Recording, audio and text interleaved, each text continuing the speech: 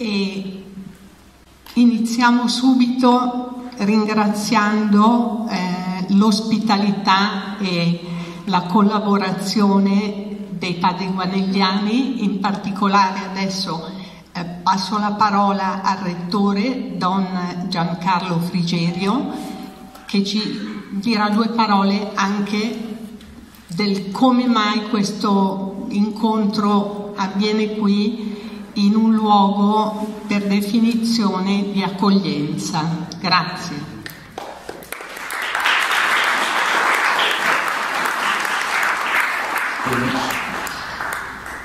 Prima di tutto vi ringrazio perché siete veramente numerosi, eh? non ci aspettavamo così tante persone.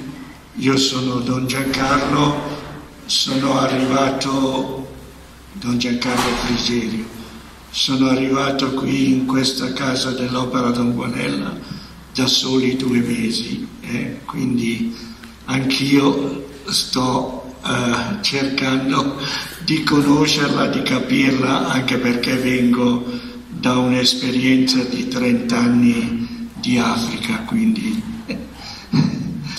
io vi ringrazio anche a nome della comunità della Casa Divina Provvidenza, la comunità religiosa, gli ospiti, eccetera. Grazie per questa occasione e per questo evento. Grazie anche a te.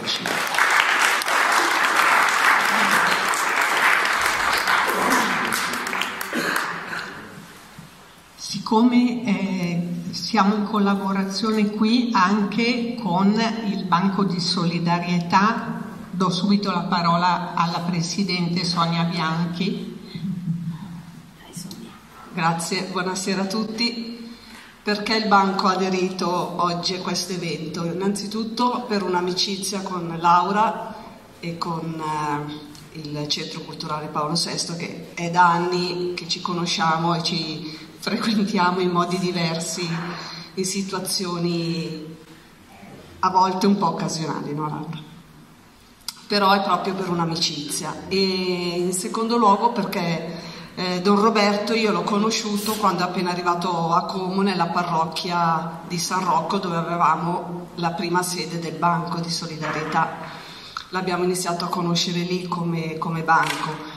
Poi di fatto non ci sono state tante occasioni di incontro, se non questo iniziale e poi quando ha iniziato il suo apostolato con i più fragili abbiamo, cioè, abbiamo avuto occasione di rincontrarci in quanto noi come banco sosteniamo le, le famiglie eh, in stato di indigenza eh, del territorio comasco. Sono più di 400 famiglie che assistiamo e 50 famiglie ucraine per cui la nostra mission è quella di dare generi alimentari.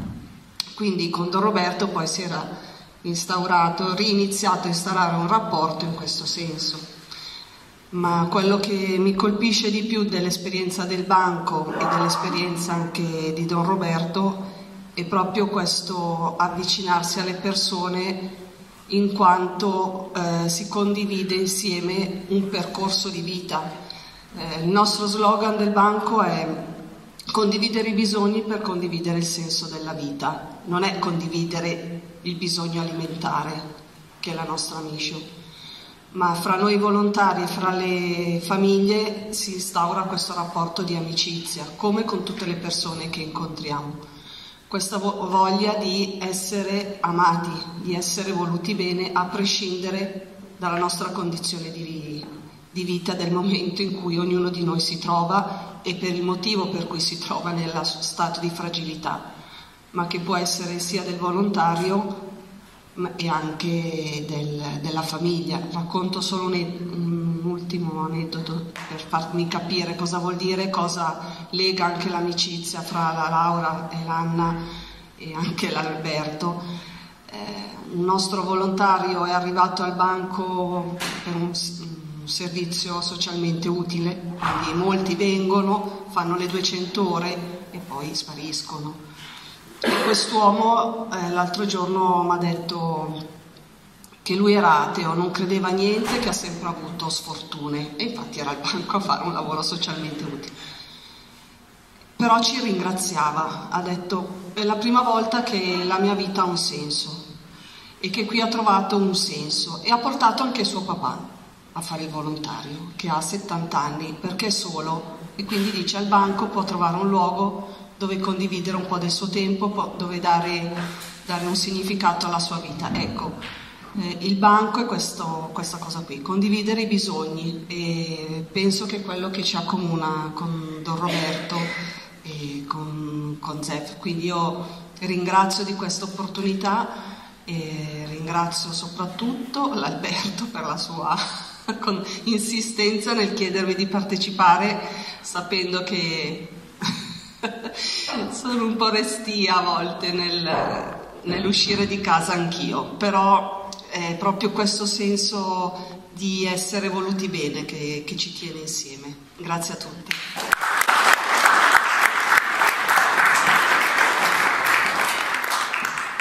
Grazie.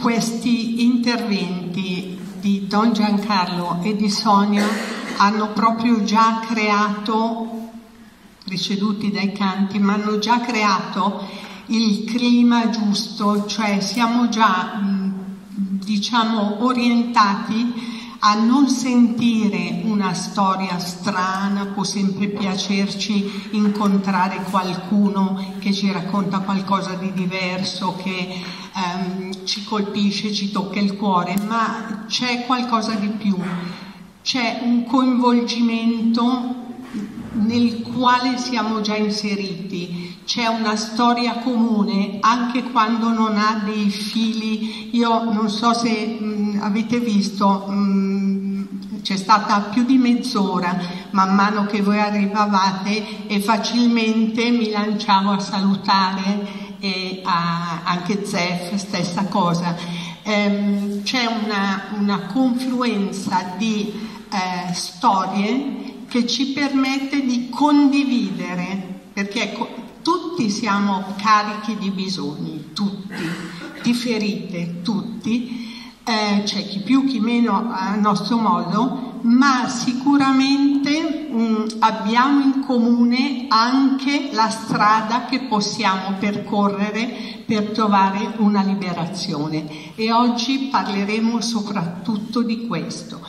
Eh, prendo spunto per l'inizio da, dal fascino che ehm, ci ha indicato Don Giancarlo quando diceva che la vita è, è, metafora di un viaggio, anche questo appartiene a tutti noi. E per Zeff è stato proprio, eh, diciamo, eh, l'input che gli ha dato anche l'idea del racconto, perché parte niente meno che da citare Dante col suo viaggio, eh, perché eh, si è trovato anche lui nel mezzo del cammino di nostra vita.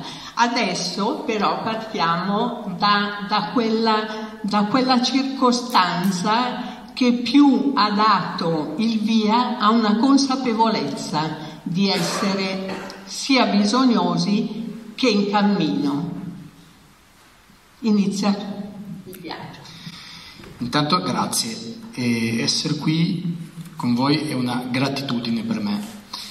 Come diceva Giancarlo, io gioco in casa perché vivo nella casa Don Guanela a Barza di Ispra, che poi alla fine vi racconto cos'è, e gioco in casa perché Don Roberto passava spesso qui, quindi mi sento di percorrere un po' eh, anche i luoghi che frequentava lui. E poi una gratitudine vedervi tutti insieme qui. Cos'è che ci unisce insieme? Col bisogno che dici tu. Niente, io eh, sono finito in carcere eh, nel 2005 e come dico sempre, quando si aprono le porte del carcere vieni spogliato da tutto ciò che uno ha. E ti vengono chiuse dietro le spalle le porte, anzi il portone grosso, di, di 10 metri, e ti viene in mente Dante. quando dice lasciate ogni speranza voi che entrate, quindi perdi ogni speranza. Quindi è proprio questo.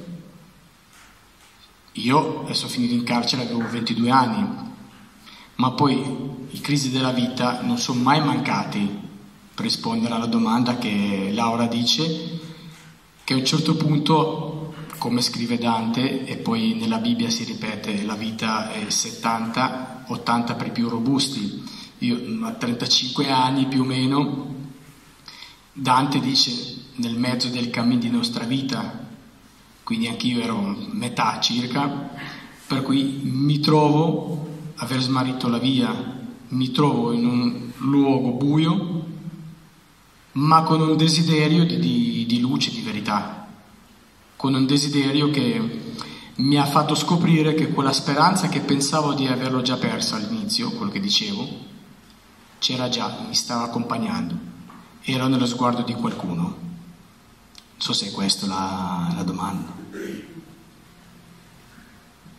Sì. Dico due parole per chi non sa nulla di, di Zef. Due, due. Uno, la tua partenza dall'Albania, se vuoi aggiungere poi tu aggiungi, perché Zef a 17 anni inizia il viaggio sul gommone cose che ci possiamo immaginare. Approda in Italia, inizia a lavorare onestissimamente, tutto bene finché qualche cosa non va per il verso giusto e Zef si trova intrappolato. Tante cose che non possiamo raccontare, c'è il libro, giusto? E eh, in questa caduta eh, si trova eh, prima nel carcere di Bergamo e poi nel carcere di Como, che è il peggio del peggio, cioè siamo a Como, spiace dire, ma lui lo definiva, come lo definisci? Carcere spazzatura. Ah, carcere spazzatura. Per cui eh, una condizione veramente di grande amarezza che tuttavia apre la strada a questa consapevolezza che avere un bisogno è tutta riconoscerlo, riconoscere le proprie ferite è tutt'altro che una disgrazia, anzi è l'inizio di qualcosa di veramente nuovo. È come quando lui dice nel buio ma con un desiderio di luce. Quando si arriva a questa consapevolezza è un po' come eh, iniziare ad attendere qualcosa, aprire lo sguardo e a lui è successo questo, proprio nel posto meno adatto. Allora, ehm, lì davanti a me c'è scritto, sta lontano da me, sono un peccatore. Quindi la frase di San Pietro che dice a Gesù, e io potrei dire stessa cosa e tante volte io l'ho detto a Gesù sta roba qua, è solo che più gli dicevo di stare lontano e più mi stava vicino. Quindi, eh, come dicevo prima, sono stato arrestato nel 2005, finisco nel carcere di Bergamo e ho preso un po' tutto con la rabbia perché non riconoscevo il reato per cui ero accusato e, e siccome Dio ti sta vicino, ma anche se non lo vedi, lui continua, senza toccare la libertà dell'uomo, perché lui può tutto tranne toccare la libertà dell'uomo. Vuole uomini liberi che lo amano, non vuole uomini costretti. Mi ricordo che io odiavo, tra virgolette, chi eh, aveva collaborato con la giustizia, diciamo, o meglio, chi aveva inventato delle cose, perché chi diceva la verità va bene, ma chi eh, inventava delle cose pur di scavalcare un po' la galera. E questi collaboratori di giustizia mi ero fissato nel carcere di Bergamo, dove li vedevo, io andavo a litigare con loro. Mi ricordo che incontro per la prima volta un povero Cristo e mi dico guarda, questo qua ha collaborato, vado, gli do due o tre pugni a questo povero Cristo veramente, perché mi sa che non c'entrava proprio niente. E la cosa strana è che neanche due ore dopo questo qua viene e mi dice io Zeb vorrei abbracciarti perché tu non sei il male che hai fatto. Adesso non so chi, ma possiamo scommettere tutti chi è disposto a fare una cosa del genere. Vabbè, tra sei mesi, tra un anno le cose cambiano, ma all'istante, mentre uno ha la faccia gonfia, esce sangue dal naso e lì, lì, un'ora dopo, viene e vorrebbe abbracciarti. Però se non hai fatto un cammino, quello che diceva anche Giancarlo, quello che dicevano un po' tutti, se non hai fatto un cammino, non sei neanche disposto ad accogliere questo abbraccio. Io mi ricordo, mm, allontano questo ragazzo e dico guarda, vai via se no te li do ancora. Mi ricordo che stavo uscendo dalla cella per andare in doccia, le docce erano in fondo al corridoio, non in cella, e mm, Torno in cella senza fare la doccia perché c'era qualcosa che aveva toccato il mio cuore, c'era qualcosa, anche se non sapevo dare il nome, mi stava dicendo che tu non sei fatto per quel male lì. Torno in cella e raccontai al mio compagno di cella e lui mi dice ma sì, ma lascia stare. Perché anche nella vita normale, non solo in carcere, incontriamo tanti che dicono ma sì, ma lascia stare. Incontriamo pochi veramente quelli che gli dicono fermati un attimo pensa cosa ti è successo. Mi ricordo che quella sera io mm, non ho dormito, non ho chiuso occhio, non per la mia bravura, ma per il cuore, perché il cuore non può essere macchiato da niente. Io posso fare tutto, i peggiori crimini del mondo, io, ma il mio cuore no, perché il mio cuore è un pezzettino di Dio. E questo non può essere mai e poi mai macchiato da, da, dalle cavolate. Perché ogni volta che facevo delle cavolate batteva mille, mi stava dicendo che tu non sei fatto per questa roba qua, tu vali molto di più. E mm, dopo questo casino vengo trasferito nel carcere di Como, da Bergamo a Como.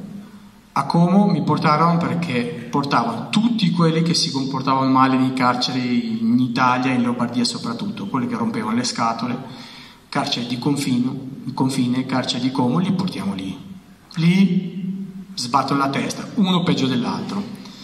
E ho sempre detto che, ma poi questo l'ho capito dopo, che dove gli uomini pensano di condannarti, Dio ti salva. Cioè per gli uomini ero buttato in un sacco di spazzatura, o meglio carcere spazzatura come lo chiamo io, Dio viene e ti prende. Dice no, no, tu non sei per stare lì, io vengo e ti prendo. E poi da lì eh, c'è stato poi il primo incontro, ma do la parola alla Laura. Perché Zef giustamente, come vedete, dice Dio ti salva. Però avrete già capito che non ha avuto una visione no, in carcere. Eh, mi ricordo un titolo di un libro, mh, mm, che poi è diventato anche un film, che è eh, Dio ha bisogno degli uomini. Eh, questo titolo mi è sempre rimasto impresso perché, dico, in fondo Dio nessuno di noi l'ha visto, eppure mh, per molti di noi la vita è segnata da questo incontro e da questa certezza. Ecco, anche in questa vicenda di Zef è impressionante come, l'ha già accennato col compagno, com, chiamiamolo compagno ah, di cella, Concellino. Concellino, ecco come si dice. Eh, però ci sono stati poi degli incontri che eh, hanno via via segnato fortemente il tuo cammino e il tuo cambiamento, arrivando fino a Don Roberto. Ecco, per, cioè, ci sono stati tanti incontri, ma oggi direi parliamo magari anche di, di quella propensione tua di quella preparazione di cui hai parlato. Hai detto, questo qui mi ha dato questa prospettiva, questo concellino, eh, questa prospettiva di bene talmente grande, ma anche di fronte a questa io non ero preparato, ti ricordi? Hai detto così. Ecco qui invece quando tu hai incontrato Don Roberto avevi già fatto degli incontri, facci un accenno Così gustiamo poi il racconto seguente. Ok, adesso lo racconto. E se fosse stato solo il primo incontro di questo ragazzo, noi lo chiamiamo caso. Sì, c'è stato un caso. Un amico mi disse una volta, guarda, per quelli non credenti, caso è il secondo nome di Dio. Chi ci crede lo chiama Dio, chi non ci crede lo chiama caso. Quindi è il secondo nome di Dio perché nulla accade per caso, tutto accade perché ha un perché. E niente, mi porto nel carcere di Bergamo, di Como, cominciai a fare quello che facevo, risse, casini, perché il mio cuore si ribellava a, un, a, una violenza così, perché mi stava dicendo non sei fatto per quella roba lì, finché un giorno un amico mi dice fai una domandina, una richiesta al direttore, entra a far parte in un luogo che si chiama centro stampa, si impara grafica pubblicitaria al computer, io feci questa domandina, due giorni dopo ero lì e lì c'è una volontaria che dopo un po', dopo un mese o due siamo entrati in confidenza, siamo diventati amici e ci racconta un po' la sua vita e i suoi fallimenti. E mi sono detto, bene, questa è fallita, io sono fallito, lei è felice, io sono triste, c'è qualcosa che non va, io vorrei essere contento, vorrei essere felice, vorrei essere lieto, vorrei capire cosa ha incontrato. Lei per poter essere così un certo punto le domando e lei mi racconta questa volontaria un po' la sua vita e mi dice bisogna seguire nella vita. Chiedo come, come seguire. Io sono stato sempre inseguito, ma dalle forze dell'ordine. E lei mi dice, bene, ti do un libro da leggere. Io mm, dico, bene, dammi sto libro, il tempo ce l'ho. E mi diede un libro più o meno un pelino più grosso di questo. Appena lo vidi così Dico, vabbè, sarà piccolo e facile. Il libro, che poi mi ha messo nei casini della vita, ma nei casini meravigliosi, era il senso religioso di Don Luigi Giussani. Io, appena l'ho preso in mano, lo buttai quasi per terra. Ho detto, di un prete non voglio ne sapere niente di quel che ha scritto, sarà anche intelligente ma non mi interessa. Senso religioso non mi interessa, ma la cosa strana è che poi Cristo ti prende per affezione, non ti prende per per, una, per un dibattito, perché ti fa uno una lezione, una predica, no, ti prende per affezione. Questa volontaria mi dice, Zef, bene, so che non lo leggerai mai, ma farlo per me. Poi chi se ne frega, buttalo via, farlo per me. Dico, va bene. Per l'affezione che, che avevo con lei, presi questo libro, dopo un paio di settimane, cominciai a leggere, non si capiva niente le prime 15 o 20 pagine, a un certo punto leggo una parola a me cara, libertà. Dico, eh no, adesso questo tizio io non lo conoscevo, non sapevo neanche chi era, Don Giussani, ho detto adesso non si deve permettere, era anche morto, non si deve permettere a questa persona di dire a me cos'è la libertà. Io sono in carcere, io ho perso la libertà, io posso raccontarlo, lui no sarà intelligente, sarà quel che vogliamo, ma non può dire una roba del genere. Ho letto quel libro una volta, due, tre, sette volte di fila, perché volevo avere ragione io. Ma quando mai? Vinse lui 3-0 a tavolino.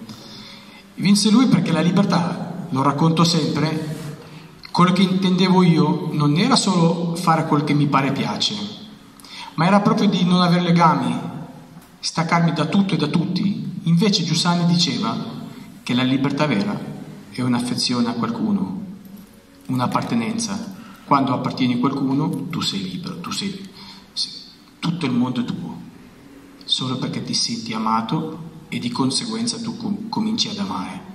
Questa roba qua mi sconvolse che mm, scendo al centro stampa dopo un po' di tempo e chiesi altri libri di Giussani e ne avrò letto più di 150, tutti quelli che parlano di lui, ma non solo, di Giussani e tutto. E questo è stato il primo incontro, che poi è seguito con il secondo, e poi ti, ti passo la parola, racconto sto fatto qua, che noi abbiamo cominciato un po' a fare mm, un incontro insieme in carcere con i ragazzi, che noi chiamiamo la scuola di comunità, leggendo i testi di Giussani o mm, qualsiasi testo un po' importante che, che abbia da dire qualcosa e lo paragonavo con la nostra vita. E mi ricordo che mm, il 5 maggio noi avevamo l'incontro ed era morta la mamma di questa volontaria qua E sapevo già che questo incontro non si faceva, perché mm, siccome c'era il funerale potevamo anche spostare l'incontro.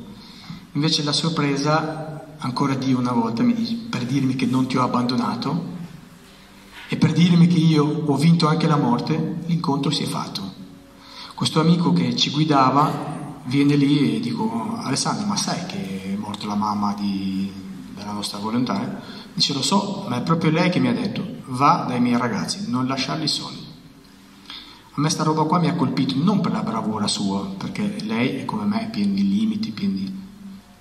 ma perché aveva capito una cosa, che Cristo aveva vinto anche la morte. A me questa roba qua mi interessava perché nella vita sono un po' riuscito, dico sempre, giudici quando ci sono, no, speriamo di no, e sono riuscito a corrompere qualche giudice, avvocato, tante, anche tante persone, tranne due cose, il mio cuore e la morte che ci devo fare i conti. A me questo mi interessava perché questa eh, volontaria aveva capito che la morte non poteva avere l'ultima parola sulla vita, quindi la vita vinceva. E questo è stato proprio il punto dell'incontro. Ecco, prendo qualche riga della prefazione fatta dal nostro vescovo cardinale Oscar Cantoni per fare il passaggio a, all'incontro con Don Malgesini, che è in fondo il fulcro del libro. Il vescovo dice, leggendo le pagine di questo libro si viene accompagnati dolcemente per i sentieri di una vita, percorrendo dall'inferno del peccato e salendo al paradiso della grazia di Dio, come nella Divina Commedia. Poi prosegue e più avanti dice, e piano piano ti chiedi chi è stato per te lo sguardo di Patrizia, la volontaria che ha citato, o la costanza di Alessandro? Soprattutto ti chiedi chi è stato per te, quindi per ognuno di noi, chi è stato per te quegli occhi, le mani di Dio e ti auguri di poter incontrare anche, una, anche tu una guida sicura un riferimento solido che profumi di Dio. Don Roberto è stato questo per tutta la vita, il profumo fragrante dell'amore di Dio. Ecco, è questo che è accaduto a te, Zef, e quindi questo ha dato un, un ulteriore, diciamo, passo alla tua esistenza. Allora, sì, perché come dicevo prima, io arrivo da una famiglia cattolica cristiana, ma fino agli anni 90 era impossibile praticare ognuno la sua religione, cattolici, cattolici musulmani, era proprio vietato per la dittatura. Mi ricordo che nel 91, io sono dell'83, ero un ragazzino, ci andai per la prima volta al catechismo. Ci andai al catechismo un po' ci obbligavano da bambini, devi andare, devi andare, va bene, era appena tra virgolette morta la dittatura, si stava sperimentando una, così diciamo, democrazia che poi non era tale, ma almeno poteva ognuno eh, vivere la propria religione. E questo prete anziano, poverino, aveva scontato 28 anni di carcere, ma non perché aveva fatto qualcosa, perché era un prete perché raccontava la verità e la verità noi uomini, non solo il comunismo, perché il nostro dittatore voleva essere lui il Dio della situazione, ma noi uomini in generale la verità da duemila anni questa parte l'abbiamo sempre uccisa. E quindi lui voleva uccidere quella verità, quel che raccontavano i preti, e quindi li metteva in carcere. Su 200 preti, 170 li ha fucilati e altri 25 stavano aspettando il giorno dell'esecuzione. Poi nel 90, nell'89 cade il muro di Berlino, questo qua si trova libero e comincia a fare quello che ha sempre fatto, prete. Mi ricordo che, e ripeto, che Dio ti prende per affezione, ci andai sempre a questo catechismo. Tanto ci affascinavo con una storia di un Signore Gesù Cristo che era risorto, non l'avevo mai sentito, boh, sarà vero, ci andiamo. E la seconda cosa è che c'era una ragazzina che mi piaceva, è solo che ero poco intelligente e tale sono rimasto. Andavo in classe, c'era una classe dove ci faceva il catechismo, io mi mettevo al primo banco, lei all'ultimo. Mi giravo sempre per guardarlo, tutte le volte che mi giravo mi prendevo un righello in testa dal prete, una volta, due, tre, poi mi sono detto io non ci vado più, se Cristo è questo non mi interessa, non voglio più avere a che fare con i preti, con la Chiesa, con Cristo, non mi interessa. Quando ci andrò da Lui farò i conti con Lui. E quindi mi ero un po' allontanato. L'incontro con Don Roberto, se non avessi fatto il primo incontro ehm, con questa volontaria che dicevo prima, con un'affezione, non l'avrei neanche guardato Don Roberto. Però siccome io avevo quella domanda, quel desiderio nel cuore, quella, quella ferita anche, in un momento molto critico della mia vita, entra Don Roberto in carcere, me lo presenta eh, padre Giovanni Milani, era il, il cappellano del carcere. Il primo impatto con Don Roberto è stato strano, eh, padre Giovanni mi dice, Zef, ti presento un amico. I preti lì si incontrano in sala avvocati in carcere. Quindi ti chiama sala avvocati, scendi, c'è o l'avvocato o una volontaria o il prete. Scendo, vedo Don Roberto, padre Giovanni con lui aveva un rapporto diverso, potevo scherzare con lui. Infatti presento un amico, guardo Don Roberto, mi sembrava uno di noi, cioè un carcerato. E gli ho chiesto, ma quando ti hanno arrestato? fa in realtà sono appena entrato. Ah, ti hanno preso adesso.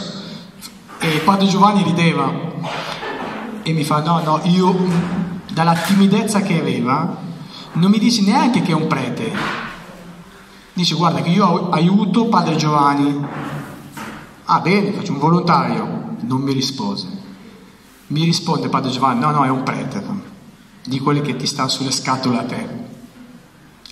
E quindi da lì è cominciata un'amicizia veramente pazzesca, che poi pian piano vi racconto qualche fatto.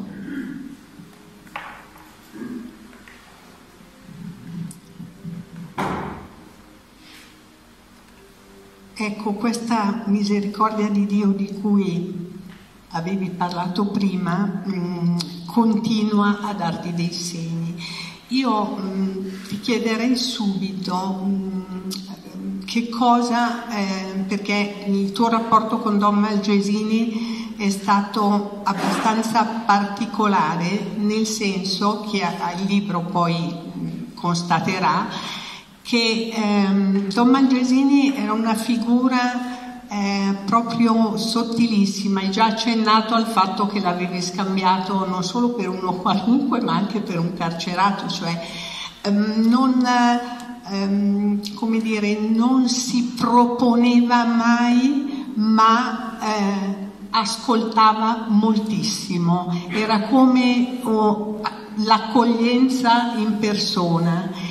Eppure questa accoglienza faceva sì che tu ti rendessi conto di una ricchezza ancora da scoprire, cioè lui ti comunicava Gesù Cristo, tu l'hai detto tante volte, ma te lo comunicava senza parole, quasi diciamo, mm, non so, attraverso eh, un dialogo che toccava delle corde particolari, per cui tu ti rendevi conto eh, che eh, c'era qualcuno attraverso di lui che ti stava parlando, cioè lui, il profumo di Dio che dice il vescovo non è solo un'immagine poetica, è proprio il dire sono contagiato, raggiunto da una presenza che non è semplicemente quella eh, di, di, di, un uomo saggio, di uno che mi sa dare dei consigli. Un giorno dicevi, in carcere facilmente siamo eh, bersagliati da persone che vogliono redimerci, no? vogliono darci consigli, insegnarci tante cose che noi non sappiamo. Ecco, mm, com'è stato questo? Allora, eh, con Don Roberto, ma non solo in carcere, anche fuori, io dico sempre, se dovessi andare in Milano Centrale, prendo Milano Centrale perché c'è tanta gente che gira, che va, viene, e dovessi intervistare 100 persone, cosa devo fare io per migliorare la mia vita? O come devo vivere? Dammi un consiglio. Tutti, tutti, ma nessuno escluso, mi darebbero la risposta giusta a quello che devo fare.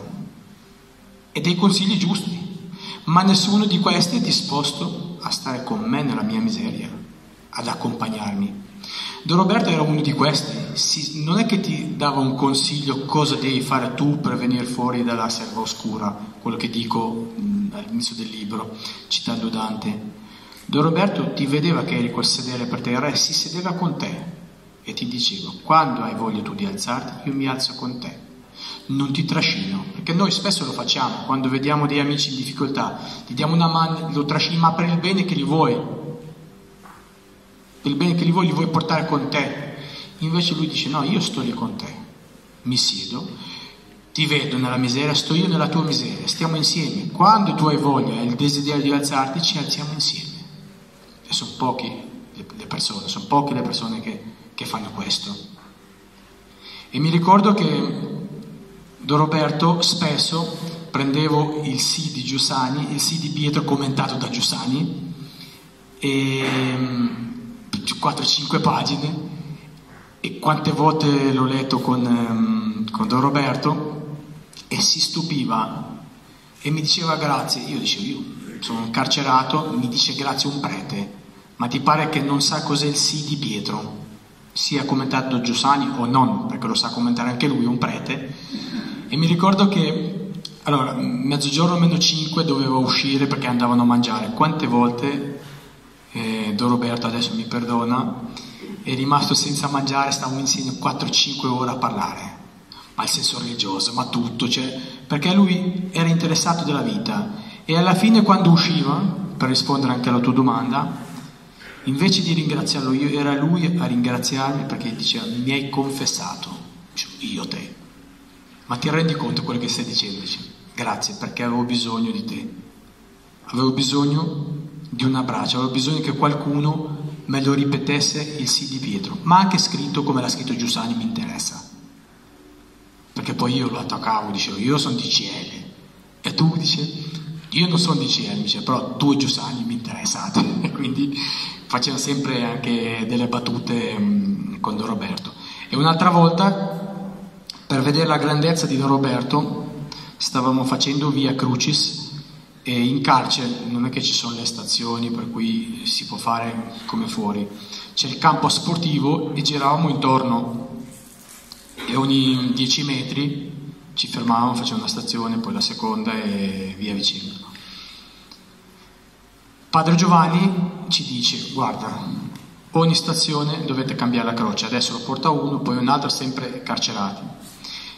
Tocca a me, mi chiama Zef, mi fa il segno, vado per prendere la croce e dico a Don Roberto, eh, ma io non sono degno di portare questa croce qua. E mi dice, vai, vai, vai, poi ti racconto. Tu vai, te l'ha chiesto, vai. Vado, faccio la mia stazione, cambio tutto, finisce um, via Crucis. Io mi ero anche dimenticato di quel che gli avevo detto. Viene lui, mi cerca e mi dice, mi puoi ripetere per favore quel che hai detto? Faccio cosa? L'avevo dimenticato mi dice, ma come mai? Come ti permette a dire che non sei degno? Ah, faccio quella roba che ti avevo detto prima. Faccio, eh sì, perché io sono pieno di limiti, pieno di peccati. Cioè, sono uno che ha fallito mille volte, sono un disastro. Mi fa, forse sarei anche un disastro. Però Gesù, secondo te, va.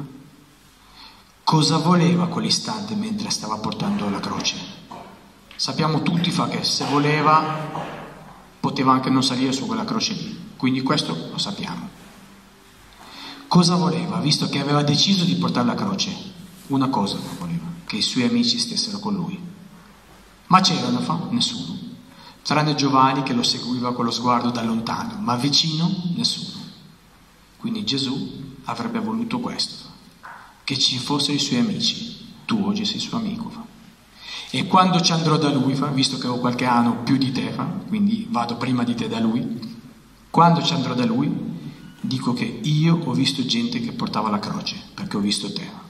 Questa roba qua mi commossa all'istante perché detto da lui in un modo vero, semplice, umano, senza fare troppe, tro- troppa filosofia, semplice.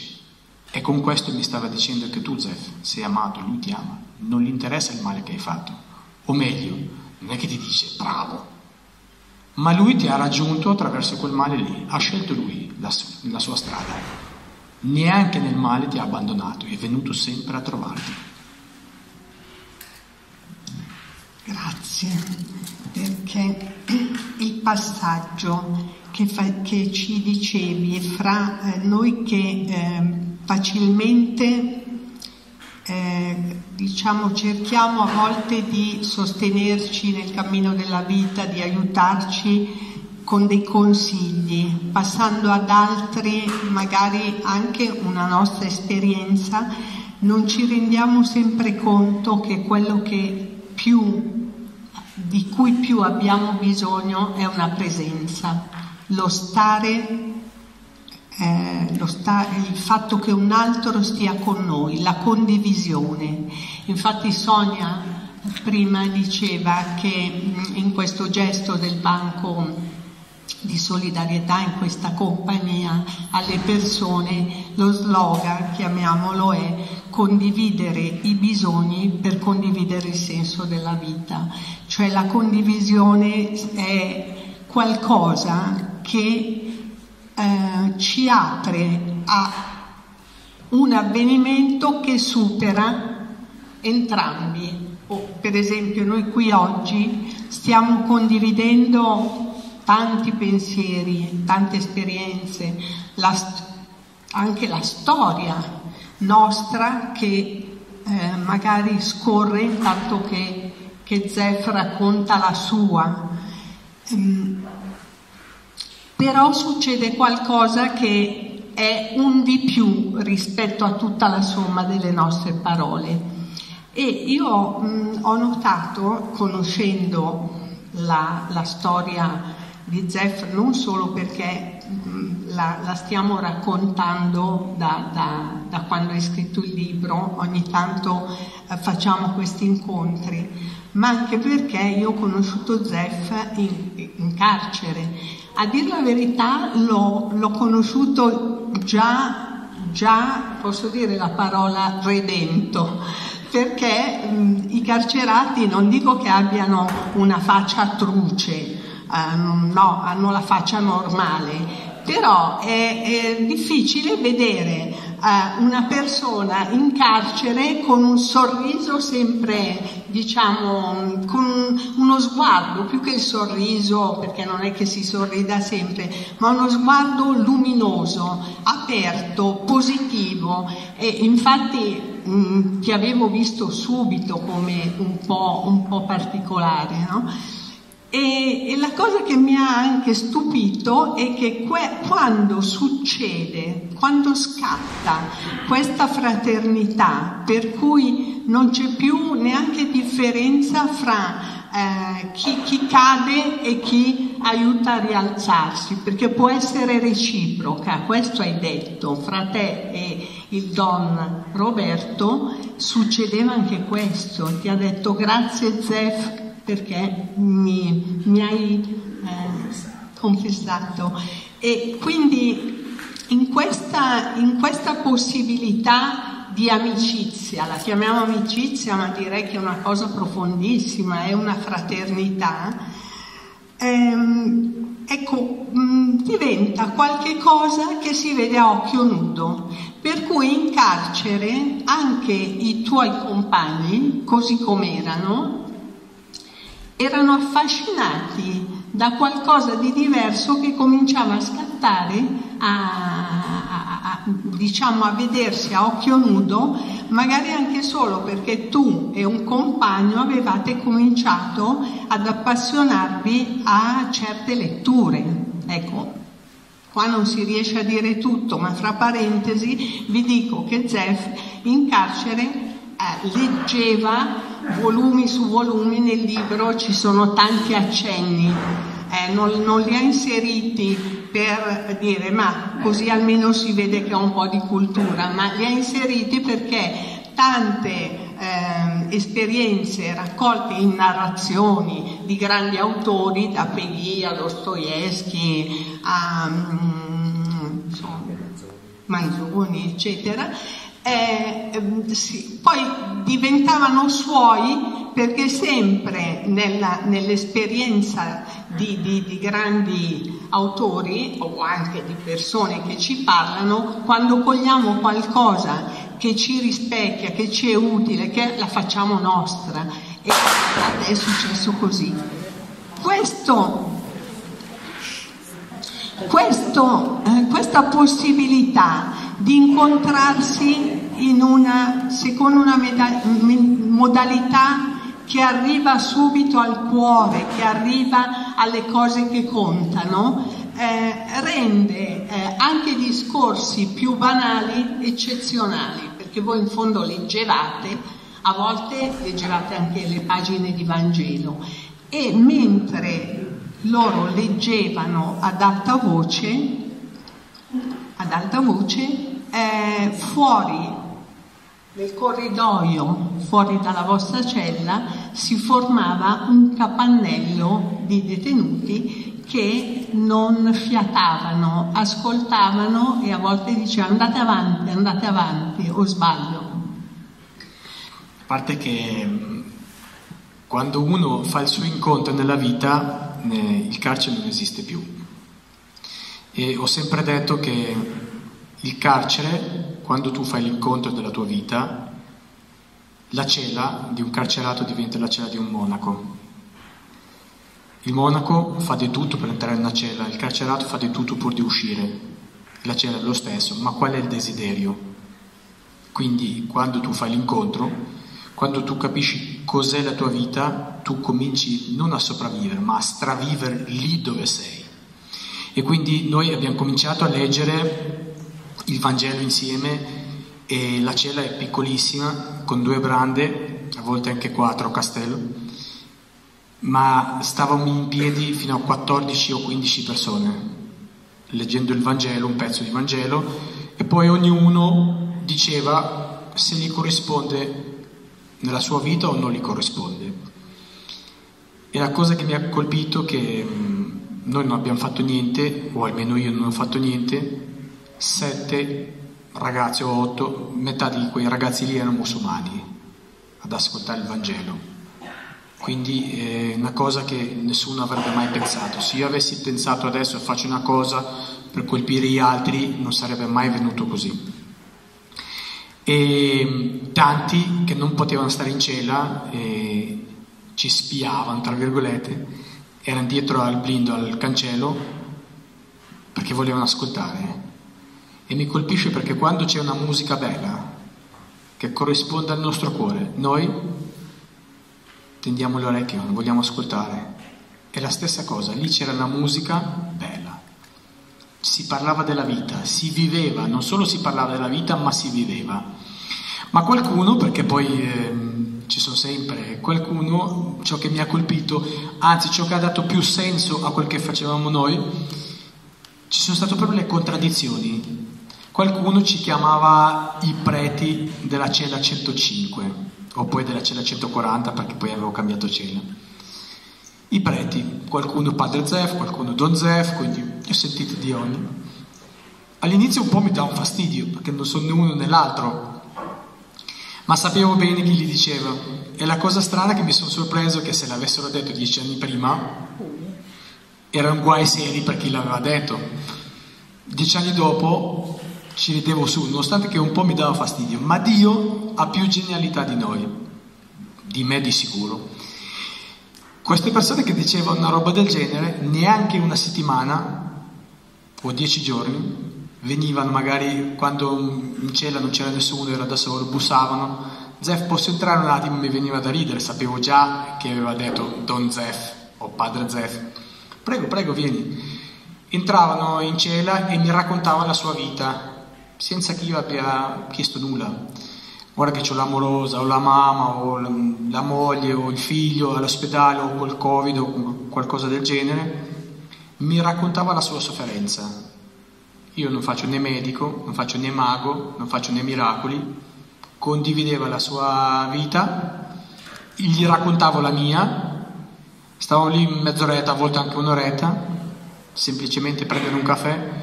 La cosa che mi ha colpito è stato questo, che entravano piegati dal dolore e uscivano, pur avendo stesso dolore, senza aver risolto il problema, uscivano con volto diverso.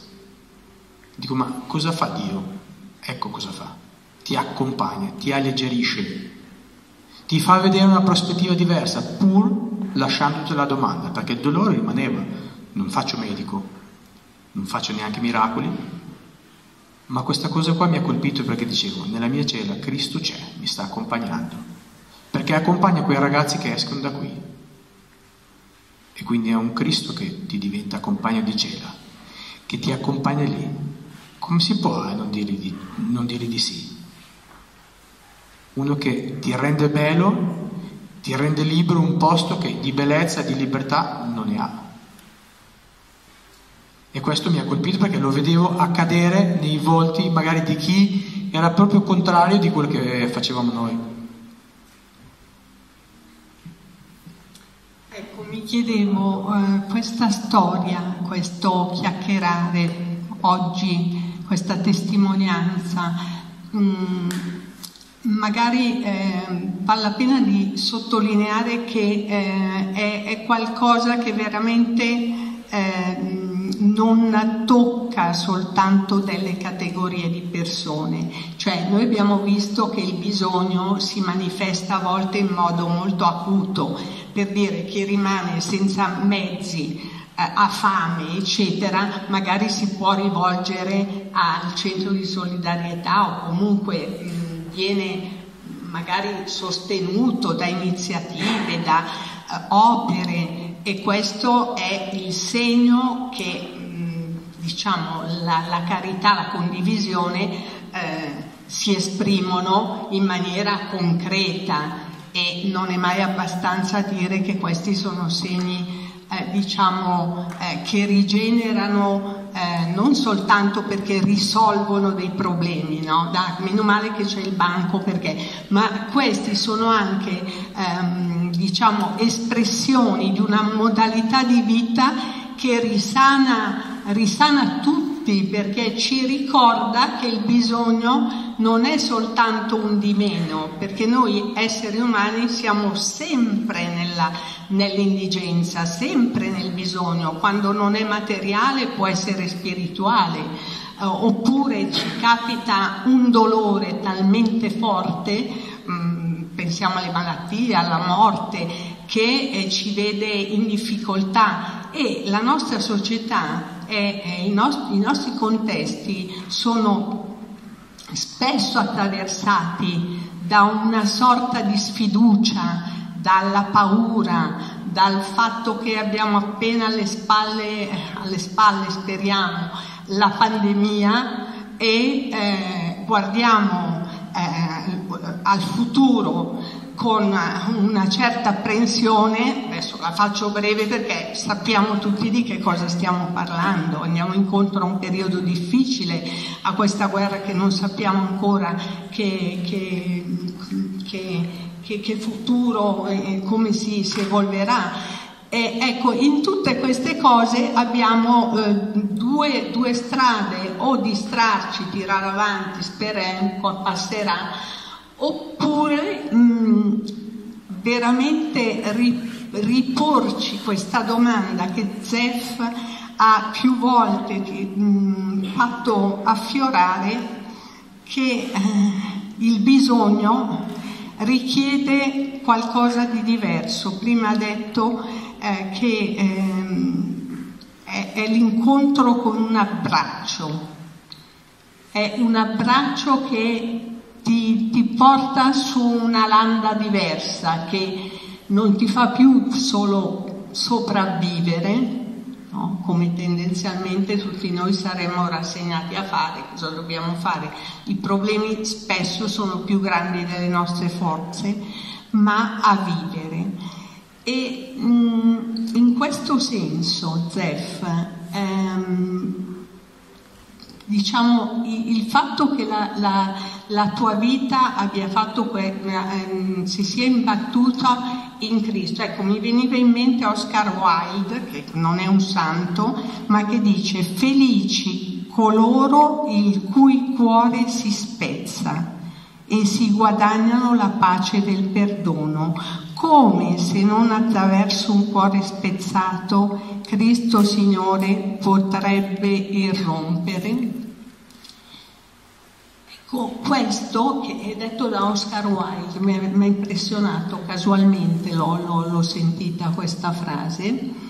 Ehm, continua a essere, o sbaglio, anche l'esperienza di questa fase della tua vita. Tu sei ancora, eh, diciamo, in detenzione, giusto? Affidato, come accennavi, alla comunità guanelliana di Bazza, che ha questo, questo, nome particolare, Locanda della Misericordia, che è tutto già un programma, e quindi per te questa coscienza e questo che volevo dire sta diventando permanente, sta diventando un'esperienza quotidiana, sta diventando il, mm, come dire, il, il messaggio continuo che eh, ti tiene insieme agli altri e che ti fa guardare il presente soprattutto, ma anche il futuro. Ecco, mh, mm, Raccontaci questa, questa fase collegata proprio a questa ricchezza di posizione, perché senza quella penso che anche tu eh, ti sentiresti ancora un po' disorientato. Allora, intanto eh, bisogna ringraziare la ferita, perché senza ferita noi non avremo delle domande, perché noi abbiamo un grande potere di domandare, di chiedere. Invece le risposte sono un dono, eh? non è che uno pretende, è un dono. La ferita è, è proprio, qualcuno diceva, c'è una crepa e da lì entra un raggio di luce. Quindi entra un raggio di luce che illumina l'abbraccio, quell'abbraccio di perdono che dicevi tu. La canzone che abbiamo ascoltato da prima dice mi dicevano i tuoi occhi che ero stato perdonato, perché dagli occhi si capisce quando la vita ricomincia. Ecco, io ho seguito eh, questi occhi qua, che mi dicevano più che delle parole che la vita ricomincia. Zef non è perso, nulla è perso, quindi puoi ricominciare, puoi ricominciare mille volte, perché ce n'è uno che ti ama, ti perdona e continua ad aspettarti e ad attenderti sempre. Io non è che faccio chissà che cosa per accogliere gli altri, accolgo gli altri per come vengo accolto io, abbraccio per come sono stato abbracciato io e amo per come sono stato amato io, per come vengo amato tutti i giorni. E non a caso, poi me lo ricordi alla fine e sulla misericordia, sulla locanda dove sono ospitato che racconterò due cose. Perché dicevo anche il Don Domenico, cos'è la misericordia per me? La misericordia la mia miseria e qualcuno ha messo il cuore. Più di così faccio, cioè, cosa vogliamo? Perché il problema del carcerato, o non solo del carcerato, eh, non è far uscire l'uomo dal carcere, ma il carcere dal cuore dell'uomo, perché spesso, o meglio, ogni, ognuno di noi, piccolo o grande, il carcere dentro ce l'ha. Bisogna solo guardare se è grande o piccolo ma ognuno ce l'ha nel suo cuore, quindi ognuno fa i conti con se stesso.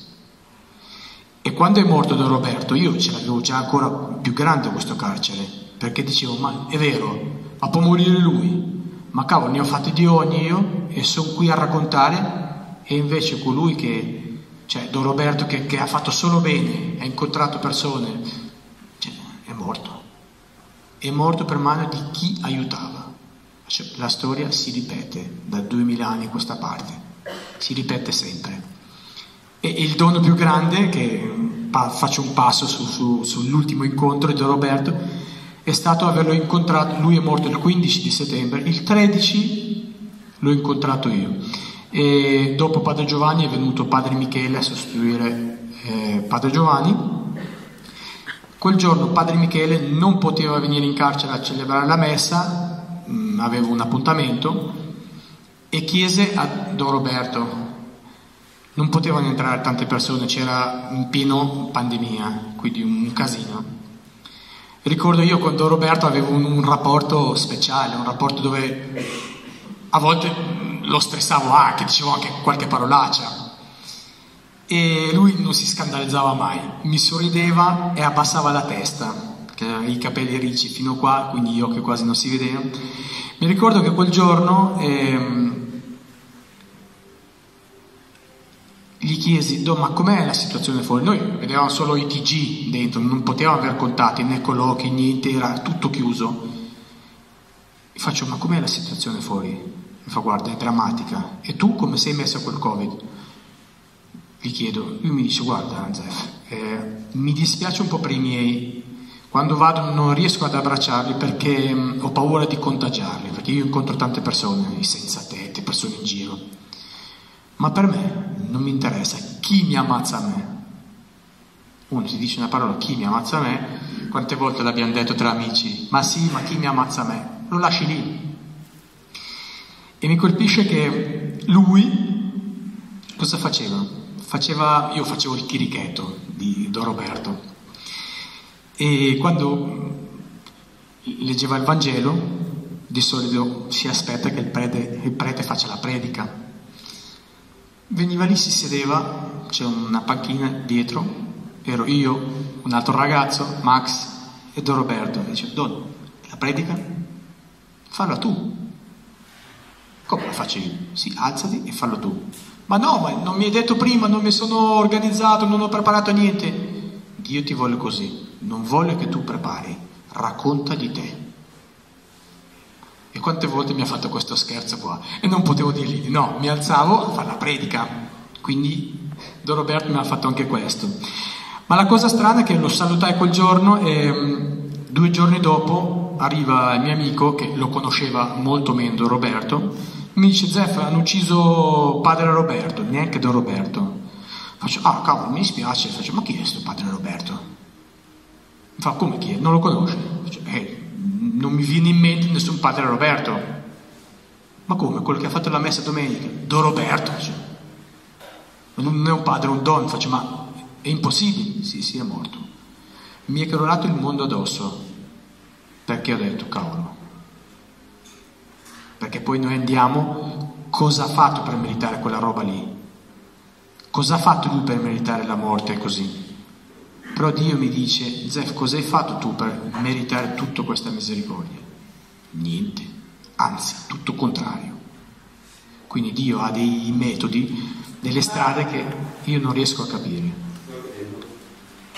Il punto che per due mesi mi è crollato, come dicevo, il mondo addosso da, dal dolore che, che non, non sapevo dare una risposta Avevo letto un, cioè un libro di, un, di un'amica eh, che è morta di, di, tumore, che si chiama Chiara Corbella Petrillo.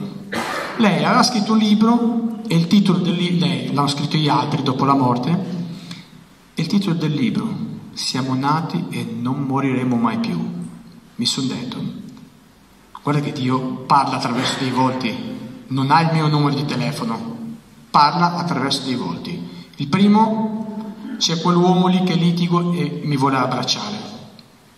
Il secondo, c'è questa signora che stiamo facendo la scuola di comunità, ha la mamma lì, deve fare il funerale e si preoccupa di me, mi sta dicendo che la morte non può vincere. Il secondo, c'è Don Roberto che mi dice chi mi ammazza me. Terzo, c'è il titolo del libro che dice siamo nati e non moriremo mai più. Porca miseria, faccio, ma è vero, noi abbiamo avuto la grazia di nascere e non moriremo mai più.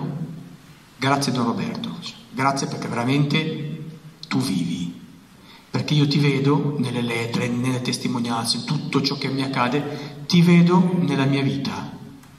Non ti vedo come immagino io, ma tu ci sei. Mi è difficile capire il mistero del, dell'aldilà, mi è difficile, ma come è difficile per un bambino che è nel grembo della, della madre. Se potesse parlare, non ci racconterà il bambino mai che nascerà e farà una vita, no, non lo, non lo sa. Pensa che la sua vita è lì, poi fa un altro passaggio. Viene al mondo, e vive la sua vita. Noi quell'altra vita non lo sappiamo, ma lo vedo nella vita per cui mi sono detto, cavolo, io adesso mi rialzo, perché è questo che vorrebbe Don Roberto, che io mi rialzassi all'istante. E nella mia mm, mente, nella branda arrugginita di notte, mi venivano in mente tutti i nostri incontri che abbiamo fatto. Ovviamente noi non avevamo un eh, videoregistratore o qualcosa del genere. Tutto ciò che è venuto in questo libro sono mm, incontri e ricordi che mi vengono in mente a me. Abbiamo fatto questo libro qua e chiedo a Laura di, di trovarci un, un, editore. Laura di qua di là ha chiamato tutti, anzi grazie a Laura che ci ha, contattato, ci ha messo in contatto con Cantagali e poverina faceva dentro fuori a portarmi le notizie perché non, non poteva chiamarmi al cellulare. Quindi ciò che gli diceva Cantagalli veniva in carcere, ero d'accordo, non ero d'accordo io, usciva, contattava loro, quindi un, un casino. Finito questo libro mi è venuto in mente, ho detto cavolo, più stavo e più mi veniva in mente altri incontri. Ho detto io non posso chiudere così. Ne ho scritto un altro che tra due mesi verrà fuori anche quello. Ma questo è di più sull'incontro con Don Roberto, l'incontro che ho fatto io nella mia vita, l'incontro con Cristo, il secondo è più sul perdono, perché come ho visto perdonare Don Roberto, non ho mai visto in vita mia. E di conseguenza, grazie a lui, ho imparato quel pochissimo a guardare, a perdonare in modo un po', un po come lui. Poco io, eh? lui più poco.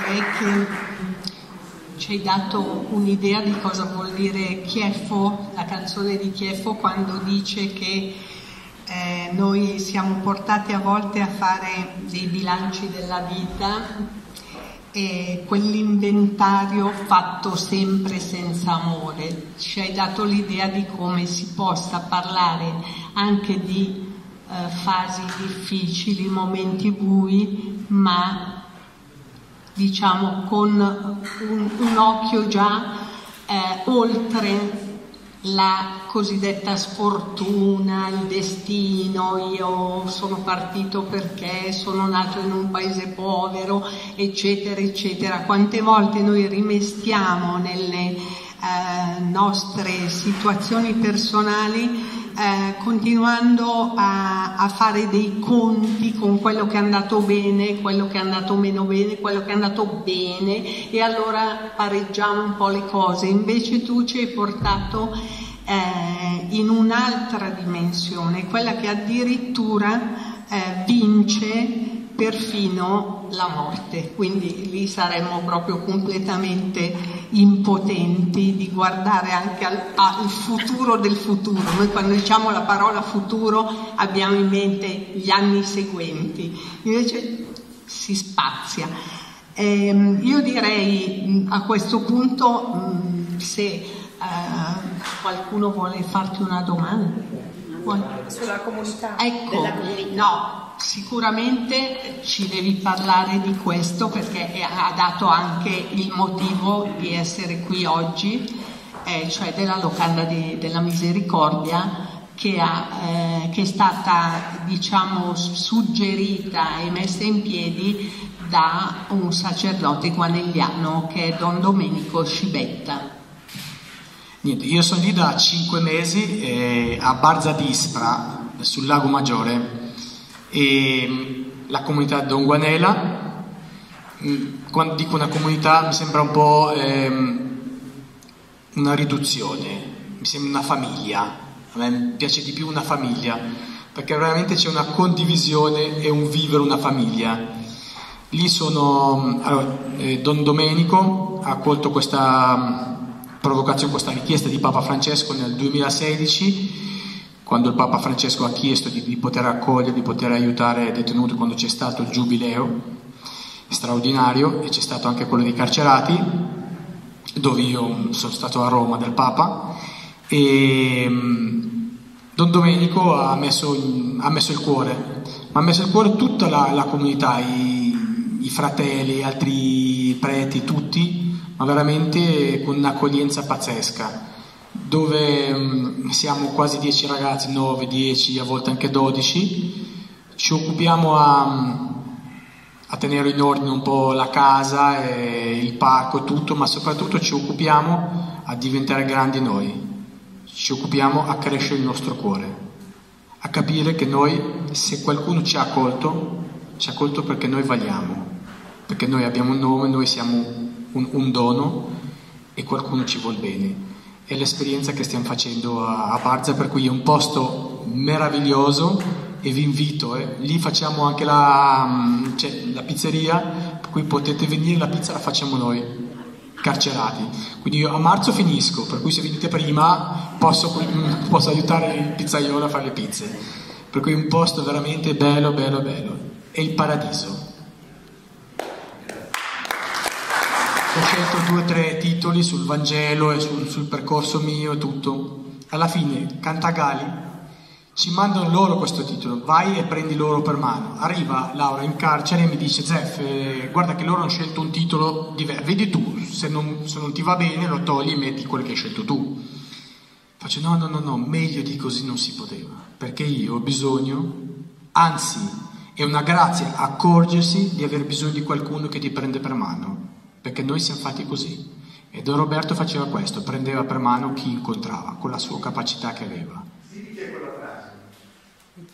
Di San Tommaso, per cui è una frase, una frase anche, anche, famosa, però eh, Cantagalli è come se avesse fatto un percorso insieme a me per poter scegliere questo, quindi sono stati veramente grandi in questo.